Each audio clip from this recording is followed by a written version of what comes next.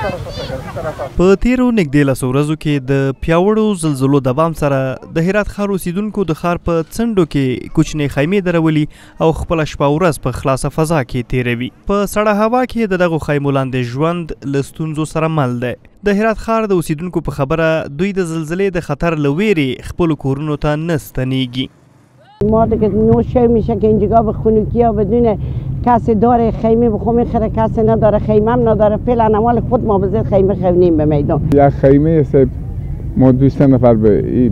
بیرون استراحت میکنیم سه چهار تا به خیمه هست تعداد ما هشت نفر است کمک ما رسیدگیری نمیشه هیچ چی اصلا قسم ملت نیا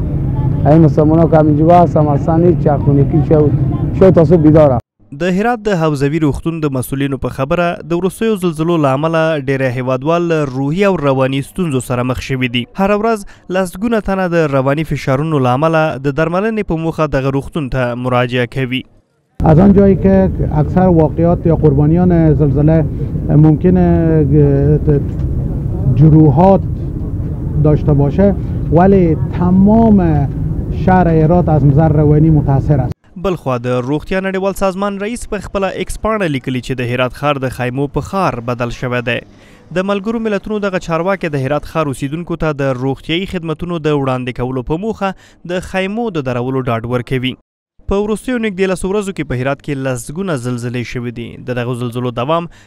له کورونو د کورنیو د تېښتې لامل ګرځېدلي دي. وروستیو ورځو کې د خیمو کمښت او په هرات ښار کې د خیمو د بیې لوړوالي خلک له بلې جدي ستونزې سره هم مخ کړي دي.